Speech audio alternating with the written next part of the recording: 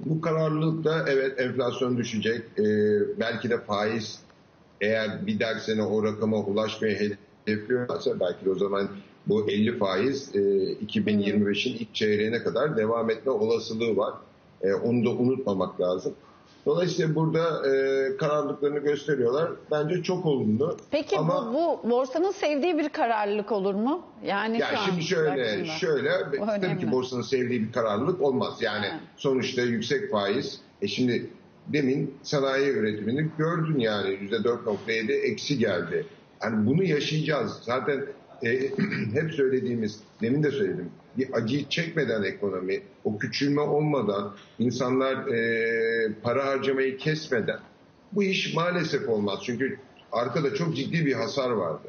Dolayısıyla bu bir e, süreç, bu süreç devam edecek. E, ben Kasım Aralık'tan evvel faiz indirimini kesinlikle düşünmüyorum. E, olmaması da gerekir diye düşünüyorum. E, ama yani bu kararlılık 2025'in de enflasyon e, beklentisinin e, düzeltmemeleri sanki ilk çeyreğe kadar da gidebileceğini düşünüyorum faiz indiriminin. Yani dolayısıyla bu sonuçta TL varlıklarına bir artı yazar. Hep söylediğim gibi fa- faize, TL faizine artı yazar. Tabii orada şu var yani Sayın Başkan mevduat dedi ama e, grafiklere bakarsak esasında para mevduattan daha çok e, para piyasası fonlarına gidiyor. Doğru. Orası e, bileşiği çok daha iyi. E, 50 ortalamayla neredeyse e, bütün fonlar böyle bir getirileri var. E, mevduata baktığınızda 47'ler 48'ler var.